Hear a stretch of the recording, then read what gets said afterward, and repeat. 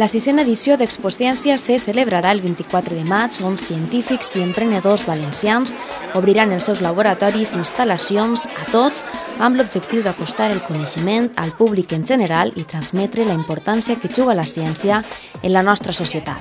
Experiments, jocs i altres activitats s'ompliran el parc científic gràcies al treball de les persones compromeses que participen de forma desinteressada en l'organització. Exposiència 2014 comptarà amb més de 60 propostes lúdiques i divulgatives entorn de la ciència, la tecnologia i la innovació de la mà de les empreses del Parc Científic, instituts de recerca i la ETSE. A més, en aquesta edició es comptarà amb la participació d'empreses externes valencianes interessades a formar part d'aquesta festa per la ciència.